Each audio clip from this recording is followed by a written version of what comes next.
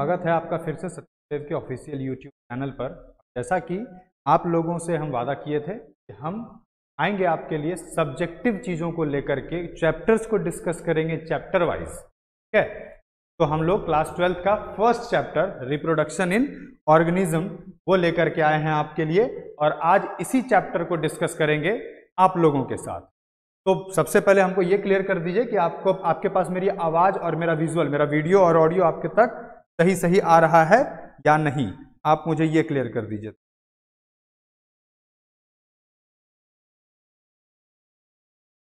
M I audible और visible to you all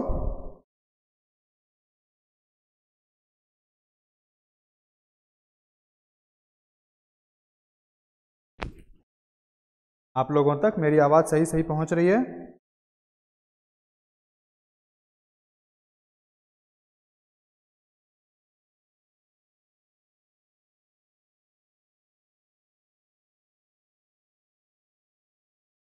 Audible and visible to you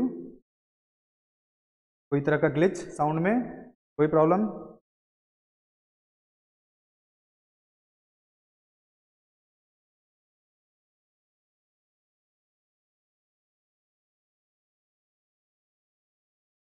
चलिए, कोई दिक्कत नहीं? हम लोग चलते हैं अपने चैप्टर की तरफ़। तो आज हम लोग रिप्रोडक्शन इन ऑर्गेनिज्म के जितने भी फोकस्ड एरिया हैं, जितने भी फोकस वाले एरिया हैं, जहाँ से प्रश्नों को आने की संभावना बहुत ज़्यादा होती है, उनको डिस्कस करने वाले हैं आज अपने, आज के इस सेशन में। ठीक है? तो एक एक करके हम लोग अपने सारे स्लाइड्स के ऊपर चलते हैं और बात करते हैं इस चैप्टर से आने वाले कुछ महत्वपूर्ण टॉपिक्स के बारे में। ठीक है? तो सबसे पहले इस चैप्टर का टॉपिक है, जो शीर्षक है इस चैप्टर का, वो है रिप्रोडक्शन इन ऑर्गेनिजम्स तो रिप्रोडक्शन इन ऑर्गेनिज्म को जानने से पहले ये जानो कि रिप्रोडक्शन क्या होता है। What do you mean by the term reproduction जनन से आप क्या समझते हैं? जनन क्या है? तो रिप्रोडक्शन एक ऐसा टेक्निक है, एक ऐसा बायोलॉजिकल प्रोसेस है लिविंग प्रोसेस है, जैविक प्रोसेस है, जिसमें in which an organism gives rise to young ones जिसमें किसी कोई एक ऑर्गेनिज्म अपने जैसे बच्चों को जन्म देता है। अपने आपका कभी सुना है? कि हाथी बच्चा कुत्ता का जन्म दे रहा है। कभी सुना? ऐसा?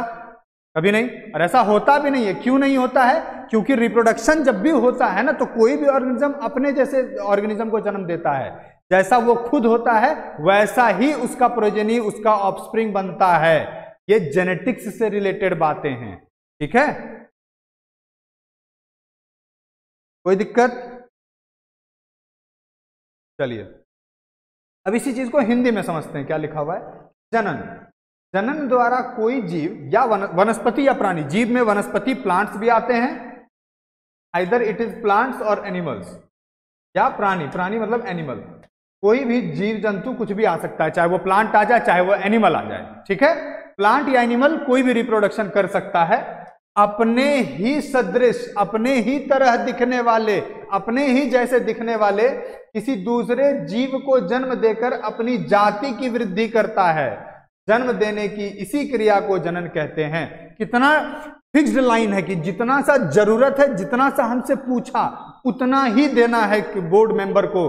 बोर्ड में जो क्वेश्चन पूछता है, जितना पूछा ना, उतना ही देना है। कोई एक्स्ट्रा रामायण हमको नहीं लिखना है उसके लिए। समझ में आया बात? तो रिप्रोडक्शन एक ऐसा प्रोसेस है reproduction is defined as a biological process reproduction एक बायोलॉजिकल प्रोसेस की तरह डिफाइन किया गया है इन विच एन ऑर्गेनिज्म जिसमें कोई जानवर, कोई जीव gives rise to their young ones जो अपने जैसे बच्चों को जन्म देता है।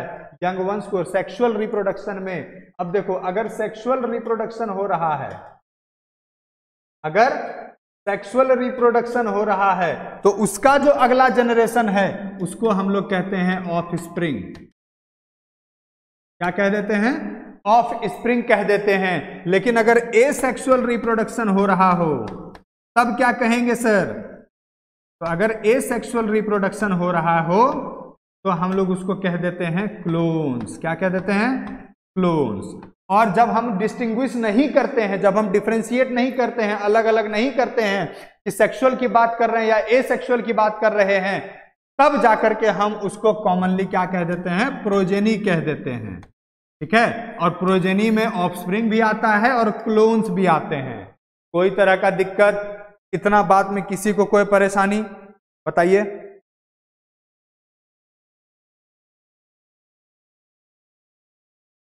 इतने चीज़ में किसी को कोई दिक्कत नहीं होना चाहिए।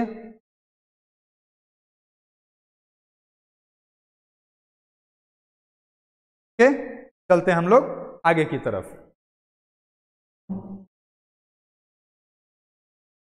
हाँ तो अब जो अगला इंपॉर्टेंट चीज़ पूछ सकता है, बताओ बाबू लाइफ स्पैन क्या होता है? जीवन अवधि क्या होता है? जीवन काल क्या होता है किसी जीव का? देखो, जीवन काल, कितना समय तक कोई प्राणी जीवित रहा, वो जीवन काल है, ठीक है? लेकिन इसको हम ऐसे डिफाइन नहीं कर सकते। क्यों नहीं डिफाइन कर सकते हैं? अब मान लो कोई बच्चा पैदा हुआ और उसका डेथ हो गया। उसकी मृत्यु हो गई। सपोज़ एक केस में किसी का जन्म हुआ और उसकी मृत्यु हो गई तो वो उसका जीवन काल हम लोग उसको डिफाइन नहीं कर सकते। ठीक है?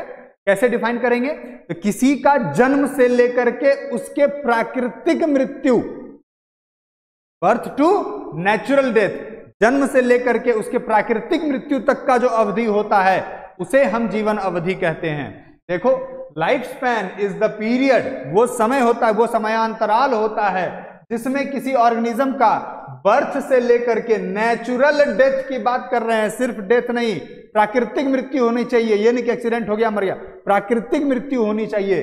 तब हम उसको कहेंगे कि उसका लाइफ स्पैन पूरा हुआ। समझ में आया? जैसे किसी इंसान का प्रॉपर लाइफ स्पैन कितना हो सकता है? तो कोई इंसान का जो एक एवरेज लाइफ होता है ना, वो 60 से 80 वर्ष के बीच में होता है, आज के डेट में। पहले के जमाने के लोग बहुत रहते थे ज़िंदा, बहुत समय तक ज़िंदा रहते थे। क्यों? क्योंकि पहले का इतना पॉल्यूशन नहीं था खाना पीना इतना अल्टर सल्टर नहीं था जो हम लोग आज खा लेते हैं, जा करके। नहीं, रोड पर चले, ठेला दिखा, अरे, यही तो खोज रहे थे हम। नहीं तो वैसा नहीं है। किसी भी पर, प्राणी का जन्म से लेकर के उसके प्राकृतिक मृत्यु तक का जो समय होता है, उसको हम लोग लाइफ स्पैन कहते हैं। किसी भी जीव के जन्म को लेकर, जन्म से लेकर, जन्म से लेकर, प्राकृतिक मृत्यु की अवधि को हम लोग क्या कहते हैं? जीवन अवधि कहते हैं। ठीक है? यहाँ तक में कोई दिक्कत, बहुत आसान सब भाषा में बात कर रहे हैं। हम लोग बहुत ही इजी लैंग्वेज का यूज़ कर रहे हैं। ठीक है? और जब हम लोग रिप्रोडक्शन की बात करते हैं ना तो हम लोग क्लास टेंथ में थोड़ा बहुत हम लोगों को आइडिया होता है कि रिप्रोडक्शन क्या होता है। जनन क्या होता है? जनन तो अभी देख लिए कि क्या होता है कि अपने जैसे जन्म अपने जैसे बच्चों को जन्म देने वाले एक प्रोसेस को हम लोग रिप्रोडक्शन कह देते हैं, जनन कह देते हैं। जनन कितने प्रकार का होता है, ये भी तो पढ़ना है। क्या जी? जनन कितने प्रकार का होता है, ये भी तो पढ़ना है। तो जनन कितने प्रकार का होता है? दो प्रकार का। कैसे? देखो। टाइप्स ऑफ़ रिप्रोडक्शन जनन के प्रकार। दो प्रकार के रिप्रोडक्शन होते हैं। जनन दो तरीके से होता है, दो प्रकार से होता है। कौन कौन सा? पहला सेक्सुअल और दूसरा एसेक्सुअल एक तो सेक्सुअल विधि है, जिसमें सेक्सुअल विधि किसको कहते हैं? जिसमें कम से कम दो पेरेंट्स की आवश्यकता होगी। दो पेरेंट्स ऑफ़ अपोजिट सेक्स ठीक है? अपोजिट लिंग वाले दो पेरेंट्स की आवश्यकता होगी। एक मेल तो दूसरा फीमेल समझ में आया? तब सेक्सुअल रिप्रोडक्शन की बात जब भी की जाएगी ना, उसमें टू पेरेंट्स का इन्वॉल्वमेंट होगा, दो लोगों का इन्वॉल्वमेंट होगा, एक मेल पेरेंट का और एक फीमेल पेरेंट का। और तब उन दोनों से जो प्रोजेनी बनेगा, उसको हम लोग ऑफस्प्रिंग कहेंगे। क्यों? अभी थोड़ा देर पहले बताए थे कि सेक्सुअल रिप्रोडक्शन के प्रोजेनी को हम लोग क्या कहते हैं? ऑफस्प्रिंग कहते हैं। ए सेक्सुअल रिप्रोडक्शन क्या होता है? ऐसा रिप्रोडक्शन जिसमें दो पेरेंट की आवश्यकता ना हो। एक ही पेरेंट से काम चल जाए, एक ही पेरेंट से कोई उसका प्रोजेनी डेवलप हो जाए क्लोन बन जाए। तो उसको हम लोग कहते हैं ए सेक्सुअल रिप्रोडक्शन अच्छा क्लोन क्यों कहते हैं ए सेक्सुअल रिप्रोडक्शन के प्रोडक्ट को? सोचे हो कभी? क्लोन क्यों कहते हैं? क्लोन इसलिए कहते हैं क्लोन का मतलब होता है एग्जैक्ट कॉपी ठीक है? क्लोन का मतलब क्या होता है? फ़ोटो स्टेट देखो, वैसा. क्लोन मतलब होता है एग्जैक्ट आइडेंटिकल कॉपी अपने पेरेंट्स का कॉपी हो जाना क्लोन कहलाता है. समझ में आई बात? इसीलिए ए सेक्सुअल रिप्रोडक्शन से जो भी प्रोडक्ट बनता है, वो अपने ही पेरेंट्स के तरह हु दिखता है। इसीलिए उसको हम लोग क्लोन कहते हैं ऑफस्प्रिंग नहीं कहते हैं। ऑफस्प्रिंग में एक अपने पेरेंट्स से प्रोजनी अलग अलग दिखता है। इवन प्रोजनी एक ही माँ बाप का दो बच्चा है तो वो भी आपस में अलग अलग दिखता है। समझ में आया? अब देखो, अलैंगिक जनन और लैंगिक जनन मतलब ए सेक्सुअल रिप्रोडक्शन क्या होता है और सेक्सुअल रिप्रोडक्शन क्या होता है? अभी जो बताए, वैसा ही लिखा हुआ होगा। ए सेक्सुअल रिप्रोडक्शन वह जनन जिसमें दो जीवों की भागीदारी नहीं होती है। अभी बताए ना कि एक ऐसा मोड ऑफ़ रिप्रोडक्शन एक ऐसा रिप्रोडक्शन का मोड जिसमें एक ही पेरेंट से काम चल जाए, जिसमें दो जीवों की भागीदारी नहीं होती है। इसमें एक जीव द्वारा ही संतान उत्पत्ति संभव है। इसमें एक ही जीव द्वारा संतान की उत्पत्ति संभव है। समझ में आया? किसमें? ए सेक्सुअल रिप्रोडक्शन में। ए सेक्सुअल रिप्रोडक्शन एक ऐसा मोड ऑफ़ रिप्रोडक्शन है जिसमें एक ही पेरेंट अपने जैसे प्रोजेनी को जन्म दे सकता है। ठीक है? और दूसरा है सेक्सुअल रिप्रोडक्शन और लैंगिक जनन की बात कर रहे हैं हम लोग। इसमें क्या बोलता है? इसमें दो भिन्न जीवों की भागीदारी आवश्यक है। भिन्न जीवों की याद रखना अपोजिट सेक्स का ज़रूरत होता है। एक मेल तो दूसरा फीमेल होना चाहिए। धारा तीन सौ सत्तर यहाँ काम नहीं करेगा। पहले बता दे रहे हैं। इसमें नर तथा मादा, दो भिन्न जीवों के सहयोग या मिलने से संतान, संतति या संतान का निर्माण होता है। अर्थात, यह अनुवांशिक रूप से भिन्न होता है। इसे लैंगिक जनन कहते हैं। अनुवांशिक रूप से भी भिन्न होता है। मतलब एक ही माँ बाप के अगर दो संतान हैं भाई भाई ही हैं, या भाई बहन ही है, या बहन बहन ही है तो भी दोनों एक दूसरे से अलग अलग दिखते हैं। क्यों? जेनेटिक्स वेरिएशन जेनेटिक्स यहाँ पर काम करता है। समझ में आया? तब इसको जेनेटिक्स में डिस्कस कर लेंगे हम लोग अलग से। आगे। अभी हम लोग क्या कर रहे हैं? शॉर्ट रिवीजन कर रहे हैं फास्ट रिवीजन कर रहे हैं। जल्दी से जल्दी सिलेबस को खत्म करें, समझ लें, पढ़ लें और उसके बाद जब एक चैप्टर खत्म हो जाएगा, तब हम आपके लिए इस चैप्टर का इंपॉर्टेंट क्वेश्चंस चाहे वो सब्जेक्टिव हो और ऑब्जेक्टिव हो, एक दिन हम लेकर के आएँगे, दो घंटे के सेशन में। वहाँ आप मेरे साथ जुड़िएगा, तब हम लोग इस चैप्टर के सारे क्वेश्चंस को डिस्कस कर लेंगे। पहले पढ़ तो लें कि चैप्टर में क्या क्या है। अब है तुम्हारा types of asexual reproduction asexual reproduction के क्या क्या दिक्कत है? यहाँ से आगे बढ़ने से पहले हमको ये बताओ, सब कुछ ठीक है? समझ में आ रहा है? मेरा आवाज़ भी आ रहा है? कोई कटवट तो नहीं हो रहा है ना आवाज़ में? ये बता दो हमको।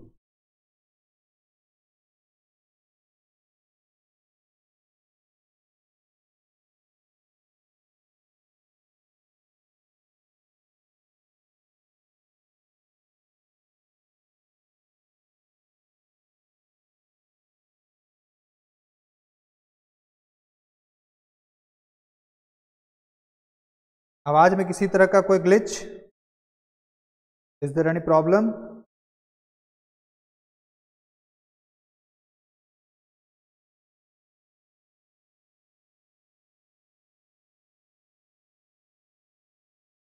सब कुछ क्लियर है? एकदम क्रिस्टल क्लियर एकदम मक्खन समझ में आएगा, टेंशन नहीं लेने का है, ठीक है? मक्खन चलेगा सब कुछ इधर। अब देखो, अभी हम लोग क्या बात कर रहे थे? अलैंगिक जनन के प्रकार। Types of asexual reproduction की बात करेंगे हम लोग। अलैंगिक जनन, क्या बोल रहा है कौन? ठीक है, सब ठीक है? अलैंगिक जनन, अलैंगिक प्रजनन में निम्नलिखित छह प्रकार होते हैं। छह प्रकार का बात करेंगे हम लोग, और इसी छह टाइप को डिस्कस करेंगे ए सेक्शुअल रिप्रोडक्शन हो जाएगा, खत्म। ठीक है? बात करते हैं पहला, विखंडन। विखंडन को अंग्रेज़ी में कहते हैं फिजन और इसका एक और नाम है, हम लोग कहते हैं इसको बाइनरी फिजन क्या कहते हैं? बाइनरी फिजन बचपन में थोड़ा बहुत याद है कि बाइनरी दो शब्द होता था, एक ज़ीरो होता था, एक वन होता था। वो कंप्यूटर वाला बाइनरी से यहाँ कोई लेना देना नहीं। बाइनरी का मतलब क्या होता है? टू बाइनरी का मतलब होता है दो। ठीक है? दो चीज़ से दो एक जब कभी कोई एक ऑर्गेनिज्म दो चीज़ में डिवाइड हो जाए दो पार्ट में डिवाइड हो जाए तो उसको हम लोग कहते हैं क्या? बाइनरी फिजन कहते हैं। समझ आया? अभी देखो इधर। विखंडन फिजन या बाइनरी फिजन क्या होता है? वह प्रक्रिया जिसमें एक भारी नाभिक नाभिक मतलब न्यूक्लियस दो लगभग बराबर नाभिकों में टूट जाता है विखंडन कहलाता है। अब हम तुमको देखो इसका थो, थोड़ा सा डायग्राम बना के दिखाते हैं कैसे होता है। जैसे मान लो ये एक सेल है है? तो इसका सेलवाल भी हम बनाइए देते हैं, क्या याद करोगे तुम? और उसके बाद हम बनाते हैं इसका न्यूक्लियस। न्यूक्लियस कौन रंग से बना दें? पीला पीला दे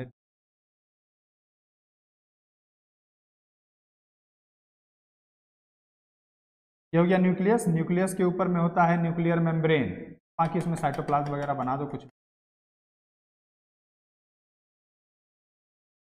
शब्द पकड़ो, क्या बोला? नाभिक का विखंडन, नाभिक का विखंडन होना है। इसके अगले स्टेप में क्या करेगा?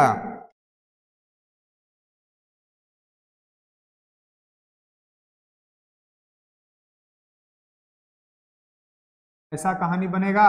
क्या होता है? नाभिक टूटना शुरू हो जाता है, नाभिक का विखंडन शुरू हो जाता है। तो नाभिक के विखंडन से पहले क्या होता है? नाभिक का जो ये साइज़ है ना, ये थोड़ा चौड़ा होता, लंबा होता है। लेंथनिंग ऑफ़ न्यूक्लियस कहते हैं इसको। ठीक है? कुछ ऐसा दिखेगा आपको। नाभिक में क्या हुआ? विखंडन शुरू हो गया।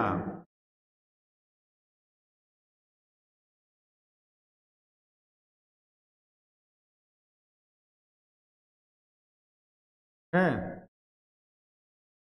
में विखंडन शुरू हो गया, देखो। अच्छा हिंदी में इसको क्या कहते हैं? सेल वॉल अंग्रेज़ी में सेल वॉल और हिंदी में कोशिका जी भित्ति।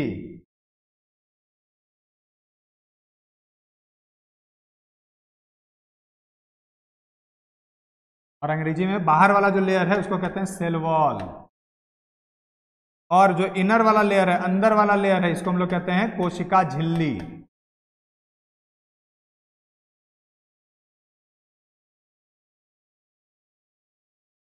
है। और अंग्रेज़ी में क्या कहते हैं? Cell membrane. थोड़ा सा और पढ़ लेगा तो क्या हो जाएगा? कुछ नहीं हो जाएगा तो सेल मेम्ब्रेन का ही एक और नाम है, जिसको कहते हैं प्लाज्मा मेम्ब्रेन।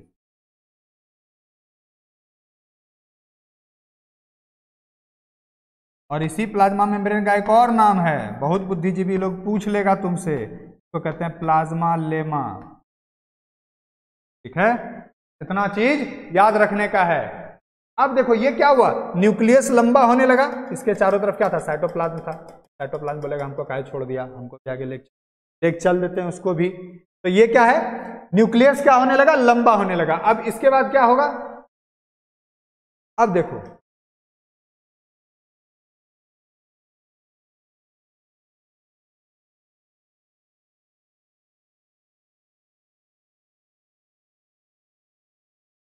ऐसे दिखता है ना? दोनों न्यूक्लियस क्या होता है? अलग अलग हो जाता है। एगो न्यूक्लियस इधर एगो न्यूक्लियस इधर। देखो क्या हुआ? एक के न्यूक्लियस था, वही थोड़ा लंबा हुआ, फिर दोनों अलग अलग हो गया। दोनों में बात तो दोनों के अंदर जो सामान भरा हुआ था जेनेटिक इंफॉर्मेशन भरा हुआ था, जो भी जीन्स भरे हुए थे, वो तो कॉमन थे। जब एक जैसे थे तो दोनों में आया भी एक जैसा चीज़ होगा। ठीक है? देखो। ये दोनों नाभिक अलग अलग हो गया। अब क्या होता है अगला स्टेप में देखो। अगला स्टेप में क्या होता है? ये जो सेल वॉल है ना, अब ये भी टूटना शुरू कर देता है।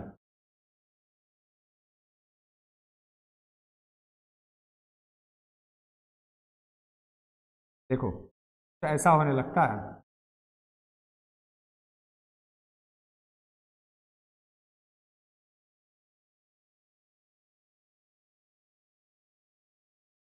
देखो।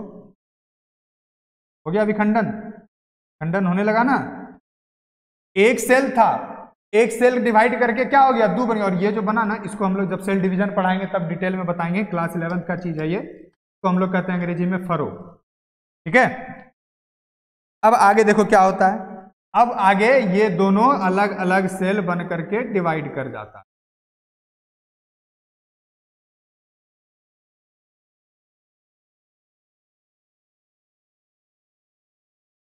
ठीक है?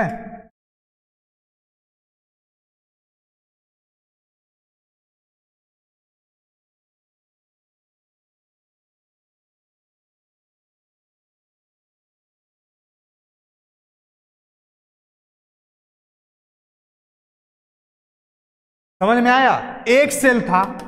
एक सेल डिवाइड करके दो अलग अलग सेल में डिवाइड कर गया। तो इसी चीज़ को क्या कहा गया? बाइनरी फिजन कहा गया। बाइनरी बाइनरी का मतलब क्या होता है? टू। बाइनरी का मतलब होता है दो। अगर कोई एक सेल दो अलग अलग सेल्स में डिवाइड हो जाए तो वो क्या कहलाता है? बाइनरी फिजन कहलाता है। समझ में आई बात? एक सेल अगर दो बराबर सेल्स में डिवाइड कर जाए तो वो क्या कहलाता है? बाइनरी फिजन कहलाता है। समझ में आया बात? कोई परेशानी यहाँ तक? कोई दिक्कत नहीं? चलते हैं अब। आगे की तरफ़। अपने अगले टॉपिक पर। बाइनरी फिजन समझ में आया? अब इसको समझ लो, देखो बाइनरी फिजन होता क्या है।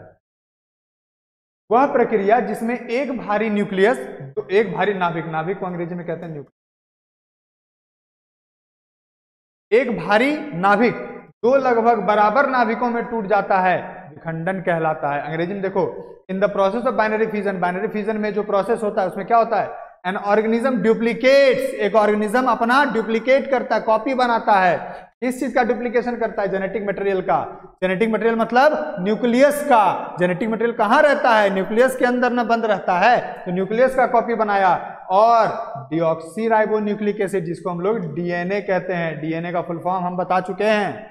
डीएनए कहते हैं। डीएनए का कॉपी बनाता है। And then divides into two parts और बार दो पार्ट में डिवाइड हो जाता है और इस प्रोसेस को हम लोग क्या कहते हैं? साइटोकाइनेसिस दो शब्द है। एक शब्द है साइटो और एक शब्द है काइनेसिस एक, एक इसके बाद साइटो एक, एक शब्द पढ़ोगे तुम लोग? कैरियोकाइनेसिस तुमसे कोई पूछ ले कि बताओ जब सेल डिवाइड करता है बाइनरी फ्यूजन हो रहा होता है तो इन दोनों में से पहला कौन सा प्रोसेस होता है? कैरियोकाइनेसिस होता है कि साइटोकाइनेसिस होता है? पूछ सकता है ना? तो कैरियो का मतलब होता है न्यूक्लियस और काइनेसिस का मतलब होता है टू डिवाइड डिवाइड करना।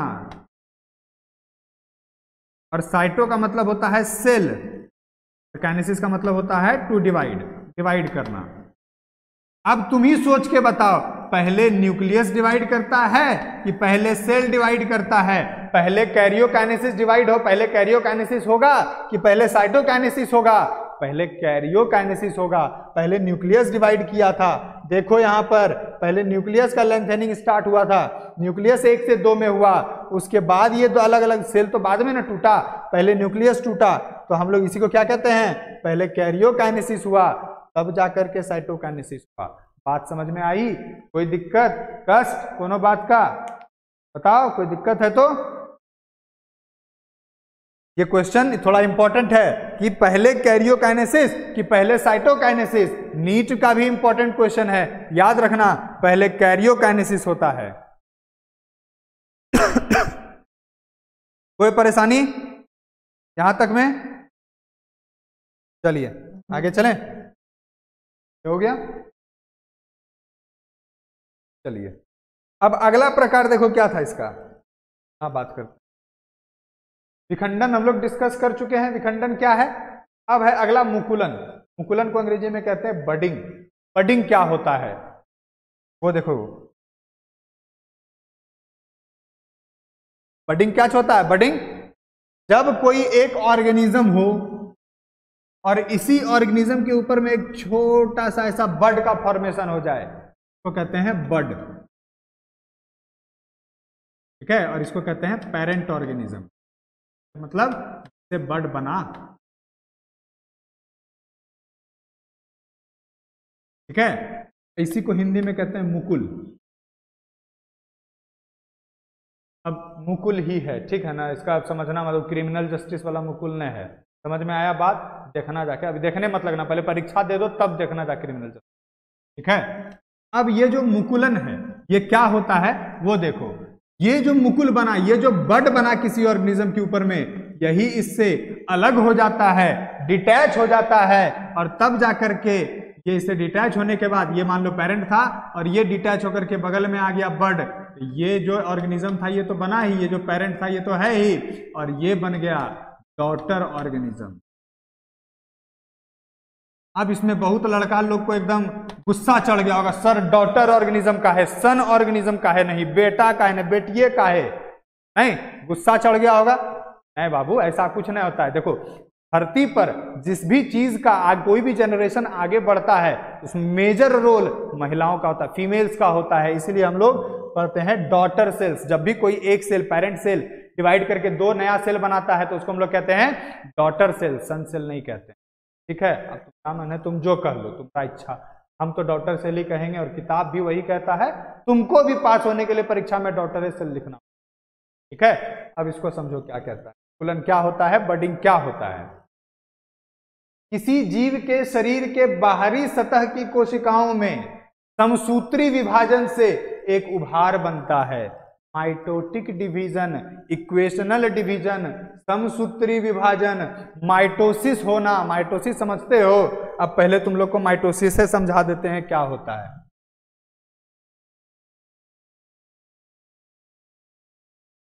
माइटोसिस। में समसूत्री विभाजन विभाजन।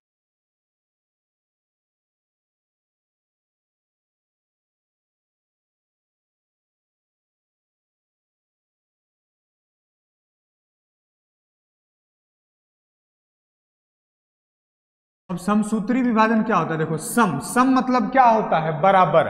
जब कोई एक सेल, जब कोई एक सेल बराबर पार्ट में टूट जाए, दो बराबर भागों में टूट जाए, है? और ऐसा होता नहीं है। एक्चुअली क्या होता है ना कि जब कोई एक सेल, टू एन वाला, टू एन मान लो छियालीस क्रोमोजोम है छियालीस क्रोमोजोम ह्यूमन का मान लो ये सेल है। ह्यूमन के सेल में 46 क्रोमोजोम होते हैं 2n की वैल्यू 46 होती है और n की वैल्यू कितनी होती है? 23 तेईस जोड़ा क्रोमोजोम होता है ना जी? याद है ना? तो क्या होता है? यही 2n यहाँ जो डिवाइड करके बना सेल, ये भी 2n ही बन जाता है। फिर से इनसे जो नया नया सेल बनता है, ये भी 2n ही हो जाता है। तो जब कभी एक सेल डिवाइड करके चार नया सेल बनाए, लेकिन उसमें क्रोमोजोम्स की संख्या बिल्कुल बराबर हो, वही हो, जो पहले था, पेरेंट में जो था, जिसमें जैसे 2n था तो सब में 2n ही हो जाए तो उसको हम लोग समसूत्री विभाजन या माइटोटिक सेल डिवीज़न कहते हैं। कोई कष्ट? बिल्कुल पीडीएफ मिलेगा, अमरीश जी? पीडीएफ भी मिलेगा? ठीक है? अब माइटोसिस समझ में आ गया? मियोसिस भी समझना है क्या? देखो क्या होता है माइटोसिस और मियोसिस में क्या डिफरेंस होता है, बता देते हैं। इसको हिंदी में कहते हैं अर्धसूत्री विभाजन।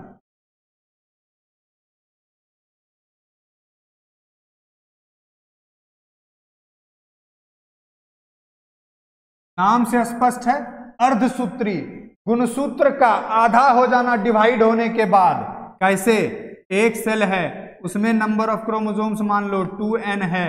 ये जब डिवाइड किया इधर, इसका नाम है मियोसिस फ़र्स्ट। अब इसका मियोसिस फ़र्स्ट सेकंड क्या है, ये हम तुमको अभी नहीं बताएँगे। क्लास इलेवंथ का बहुत बड़ा सिलेबस बहुत बड़ा चैप्टर है सेल डिवीज़न। वहाँ पढ़ते हैं हम लोग। यहाँ मियोसिस फ़र्स्ट हुआ तो सेल डिवाइड कर गया। दो क्रोमोजोम्स में, दो सेल्स में, और इनके पास अर्धसूत्री विभाजन हो गया, गुणसूत्र आधा हो गया तो इनके पास नंबर ऑफ़ क्रोमोजोम्स कितने हो गए? एन एन हो गए। अब फर्दर ये जाकर के दो अलग सेल्स में डिवाइड करते हैं। बनाते हैं एन वाले चार सेल जब कभी एक सेल डिवाइड करके चार सेल बनाए, लेकिन उसमें नंबर ऑफ़ क्रोमोजोम पेरेंट्स के मुकाबले आधा हो जाए तो वो अर्धसूत्री विभाजन, यानी कि meiotic cell division meiosis cell division कहलाता है। समझ में आया? इधर हो रहा है मियोसिस टू इधर मियोसिस वन हुआ था, इधर मियोसिस टू हो रहा है। समझ में आ गई बात? चलते हैं अब आगे। आ गया। वाला। हाँ तो किसी जीव के शरीर के बाहरी सतह की कोशिकाओं में समसूत्री विभाजन से, समसूत्री विभाजन, बडिंग में याद रखना, समसूत्री विभाजन होता है। यहाँ से भी क्वेश्चन आ सकता है कि बडिंग में कैसा विभाजन होता है, मुकुलन में कैसा विभाजन होता है, समसूत्री विभाजन होता है, माइटोटिक सेल डिवीज़न होता है। बाहरी सतह की कोशिकाओं में समसूत्री विभाजन से एक उभार बनता है। देखो, ये जो उभार बना है, एक उभार बनता है, जिसे मुकुल कहते हैं, बड कहते हैं मुकुल निर्माण द्वारा अलैंगिक जनन की विधि को मुकुलन कहते हैं। मुकुल के निर्माण होने की वजह से जो रिप्रोडक्शन होता है, वो अलैंगिक जनन का एक प्रकार है, जिसको हम लोग मुकुलन कहते हैं। मुकुल विकसित होकर एक पूर्ण जीव बनता है। देखो, एक नया जीव बन गया था, जिसको हम डॉटर सेल बोले थे। किसमें किसमें होता है मुकुलन? बडिंग कौन से ऑर्गेनिज्म में देखा जाता है? बोलेगा बडिंग का एग्ज़ाम्पल दो। क्या करोगे?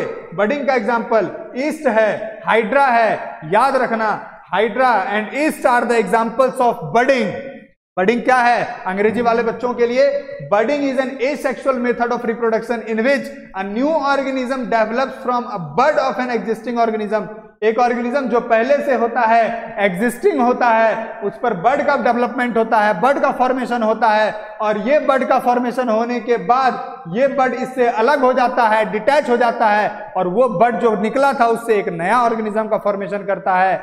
यही कहलाता है क्या? बर्डिंग कहलाता है। समझ में आया?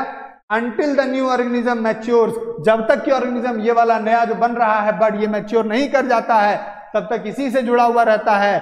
और जब इससे मैच्योर कर जाता है, ये वाला बर्ड पूरा, तब इससे डिटैच हो जाता है, अलग हो जाता है पेरेंट ऑर्गेनिज्म से, और ये कहलाता है बर्डिंग कोई दिक्कत? कोई कष्ट? दुख? व्यथा? परेशानी? पीड़ा? पूछो।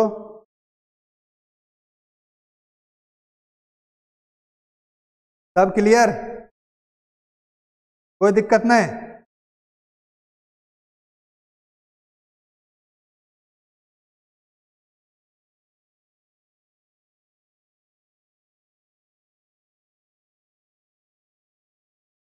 सब कुछ ठीक?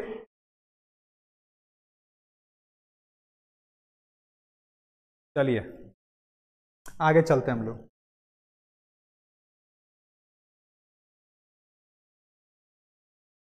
स्पोर फॉर्मेशन, बीजाणु का बनना। देखो, ये बड़ा ही क्या कुछ? तो ये बड़ा ही स्पेशल टाइप ऑफ़ रिप्रोडक्शन है। ए सेक्सुअल रिप्रोडक्शन का एक बड़ा ही स्पेशल प्रकार है। क्या है इसमें? वो देखते हैं। बोलता है बीजाणु जनन। बीजाणु जनन मतलब स्पोर फॉर्मेशन। अलैंगिक जनन की एक उन्नत विधि है, बहुत ही डेवलप्ड विधि है डेवलप्ड प्रक्रिया है। यह मुख्य रूप से निम्न श्रेणी के जीवों, छोटे स्तर के जीव जो होते हैं ना, उनमें जैसे जीवाणु, बैक्टीरिया, शैवाल, एल्गी, कवक, फंगस आदि में पाई जाती है। किसमें किसमें मिला? एल्गी में, फंगस में, बैक्टीरिया में, उसमें मिलता है स्पोरुलेशन या स्पोर फॉर्मेशन कहते हैं इसको। स्पोर फॉर्मेशन के बदले अगर तुमको स्पोरुलेशन भी लिख के दे दे तो घबराने वाला कोई बात नहीं है, एक ही बात होता है।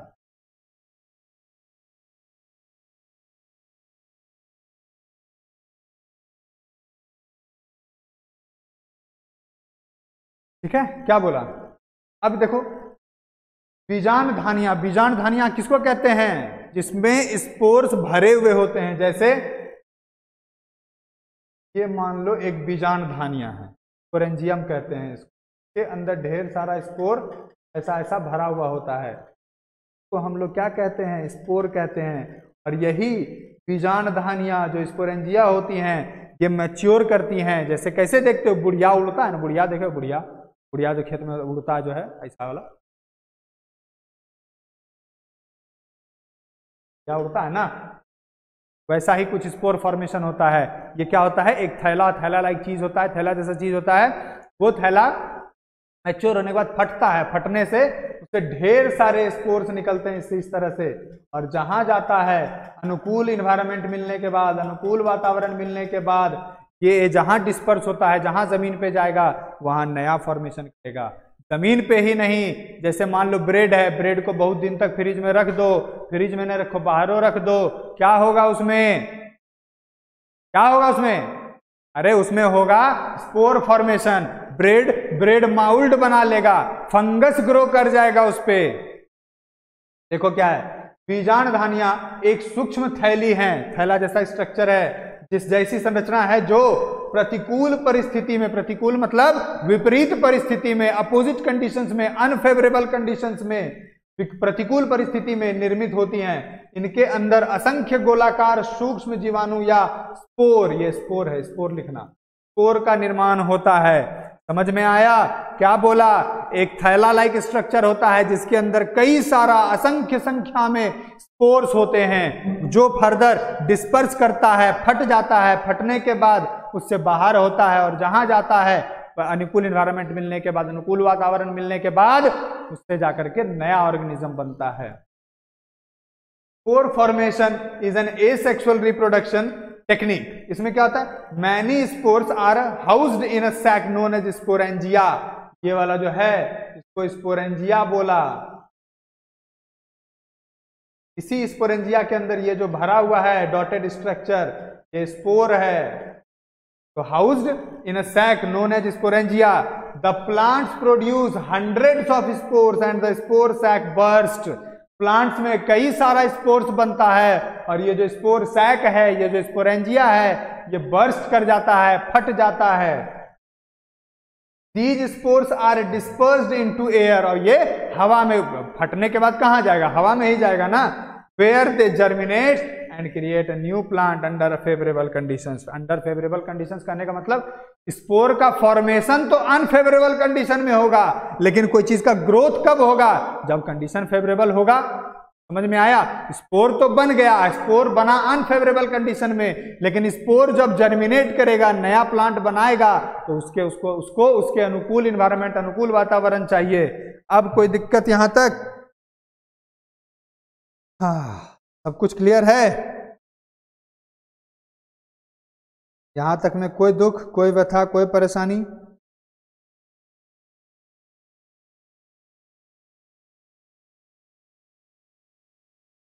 उम्मीद करते हैं नहीं होगा। चलिए, आगे चलते हैं।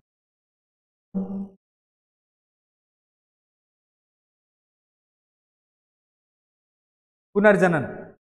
देखो, आज बहुत ज़्यादा तक लेके नहीं जाएँगे, आज कम चलेंगे, उसके बाद आगे चलेंगे। समय का थोड़ा सा कमी है के लिए। पुनर्जनन, इसको तो कहते हैं रीजनरेशन। ये क्या होता है? रीजनरेशन क्या होता है? पुनर्जनन प्रजनन की एक अलैंगिक विधि है। देखो, हम समझा देते हैं तुमको रीजनरेशन क्या होता है। बता देते हैं।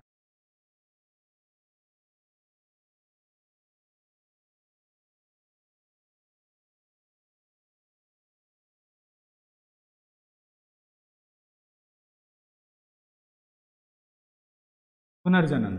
देखो क्या होता है।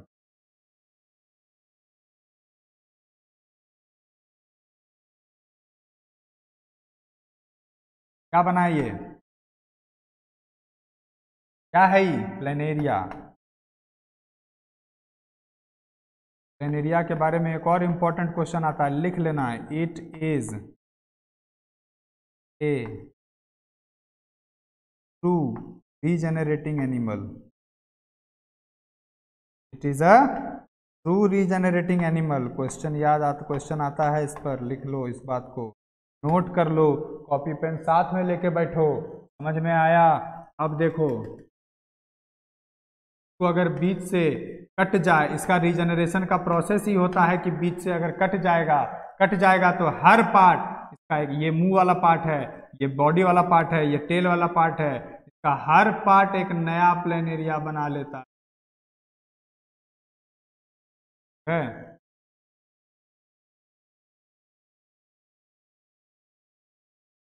हर बॉडी पार्ट नया प्लेन एरिया बना लेगा। आया अब देखो क्या हुआ। एक बॉडी पार्ट यहाँ से टूटा हुआ था, इस तरह से था। इससे क्या हुआ?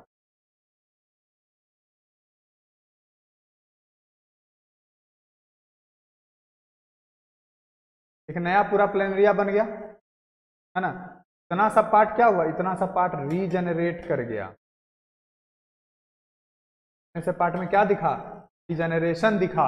इसी प्रोसेस को रीजनरेशन कहते हैं। अब इस चीज़ को भाषा में समझो कैसे क्या होता है। कैसे लिखते हैं? अगर जनक जीव का शरीर पेरेंट का शरीर यदि कहीं से कट जाता है तो कटा हुआ प्रत्येक हिस्सा पुनर्जनित हो जाता है। देखो, कटा हुआ प्रत्येक हिस्सा, ये भी पार्ट कट गया था, ये भी पार्ट कट गया था, ये भी पार्ट कट गया था। कटने के बाद हर एक हिस्सा एक नया प्लेन एरिया बना लिया, हर एक एक हिस्सा एक नया ऑर्गेनिज्म बना लिया। समझ में आया? और अपने शरीर के हिस्से से पूरी तरह से एक नया जीव बना लेता है। पूरा जहाँ से कटा, वहाँ से पूरा जीव बन जाएगा। इसी को कहते हैं हम लोग रीजेनरेशन का विधि। Regeneration is the natural process of replacing और रीस्टोरिंग डैमेज्ड और मिसिंग सेल्स टिश्यूज ऑर्गेन्स और and even entire body part पूरे बॉडी पार्ट में डेवलपिंग हो जाता है to full functions plants and animals अब देखो, तुम प्लांट में तो पढ़ लिया। एनिमल में कहा होता है भाई? कल्ली देखा है, घर में। गिरगिट और छिपकली, दो चीज़ें हैं, दो अलग अलग जानवर होता है, ठीक है?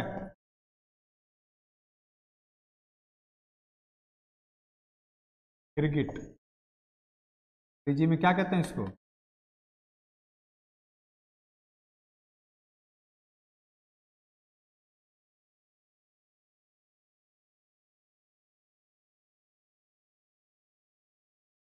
क्या हो रहा है?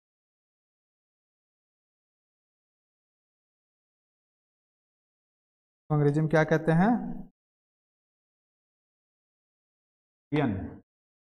क्रिकेट को। इधर जो होता है, छिपकली जो होता है तो हम लोग कहते हैं। घर में जो छिपकली पाया जाता है ना, वो लिजार्ड है। उसका अगर पूंछ कट जाता है तो वो नया पूंछ बना लेता है। उसके पूंछ में रीजनरेशन हालाँकि उसका पूरा शरीर रीजनरेट नहीं करता है। उसके सिर्फ़ पूंछ में रीजनरेशन देखा जाता है। इसीलिए गिरगिट का हम लोग कहते हैं कि पूछ को अगर काट, कट जाए तो वो नया पूछ बन जाता है, उससे नया रीजनरेशन हो जाता है पूरे के पूछ में। और जितनी बार उसके गिरगिट को अगर ध्यान से देखो गिरगिट नहीं, छिपकली छिपकली को अगर ध्यान से देखो तो उसके पूछ पर जितना बार लाइनिंग है, समझ जाना कि उतना बार उसका पूछ कटा है, और जितना ज़्यादा लाइनिंग उसका उम्र उतना ज़्यादा। समझ में आया? कोई दिक्कत? पीडीएफ आपको टेलीग्राम ग्रुप पर ही मिल जाएगा। प्रभाष जी।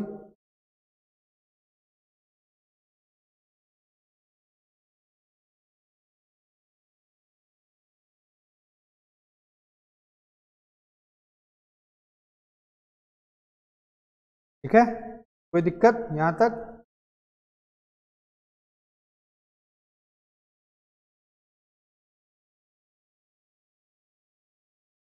कोई दिक्कत नहीं होना चाहिए। चलिए, आगे की तरफ़।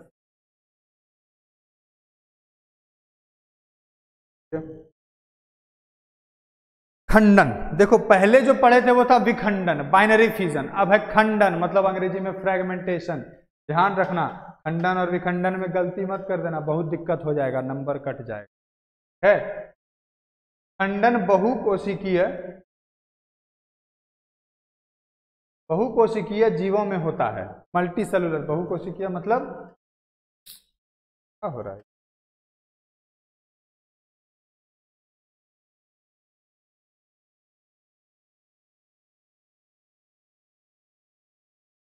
जो है ना, वो मल्टी सेलुलर ऑर्गेनिजम्स में होता है। चाहे वह पौधा हो या जानवर।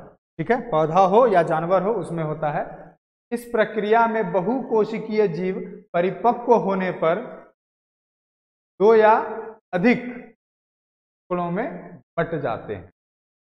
और इसका एग्ज़ाम्पल क्या है? स्पायरोगैरा एक जानवर है, उस जानवर अगर बीच से टूट गया, टुकड़ा में हो गया, ऐसा।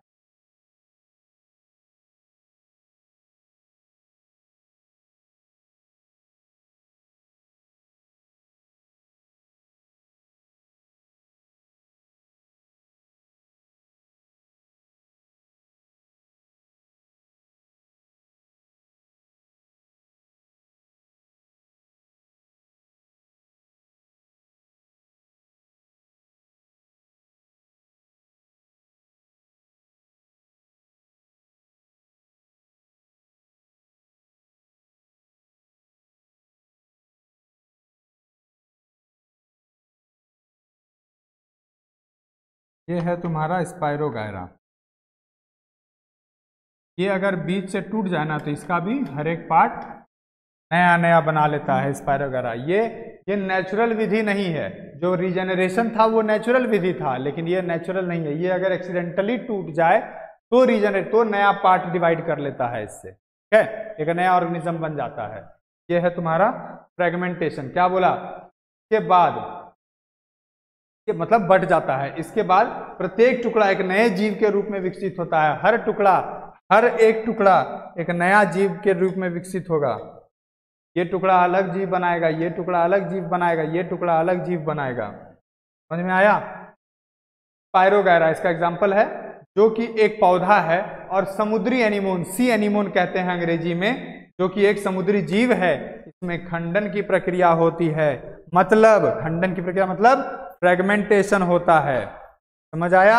अंग्रेज़ी में देखो क्या है?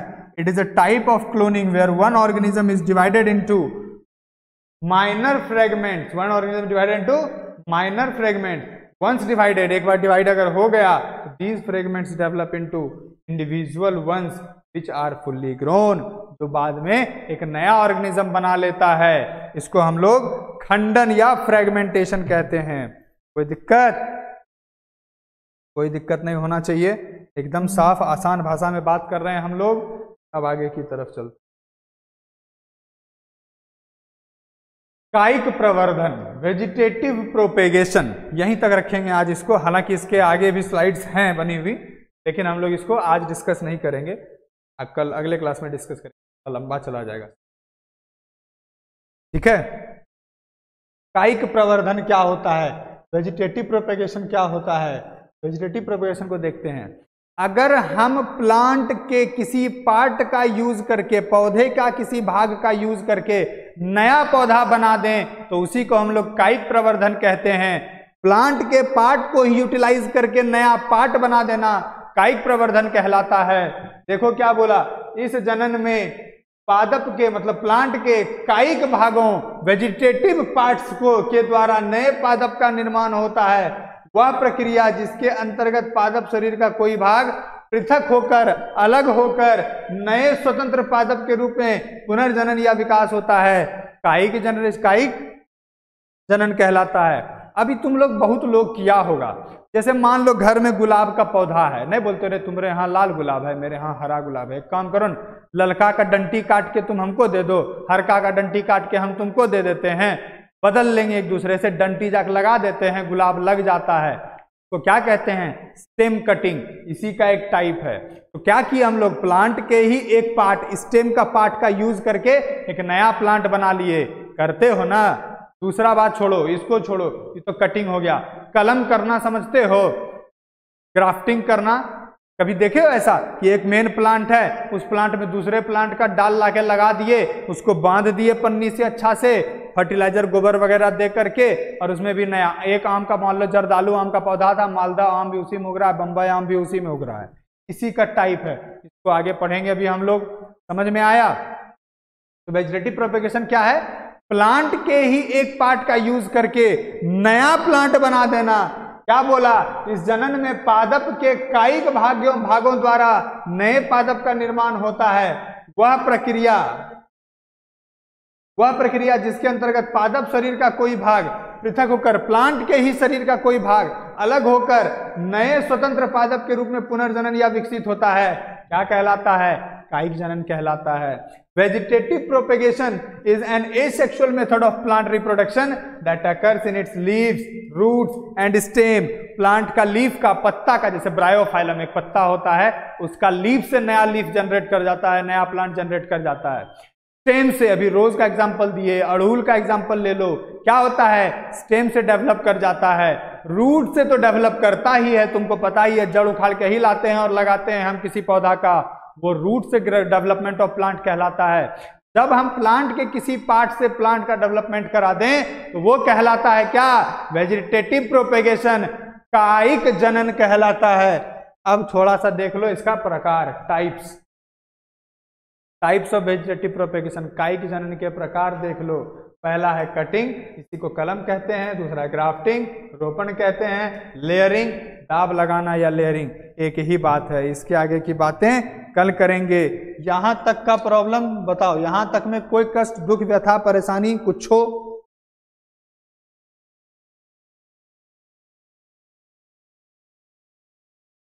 यहाँ तक में कोई कष्ट है? किसी तरह का कोई कष्ट है तो बताओ। तो हम लोग क्लियर कर लेंगे अभी?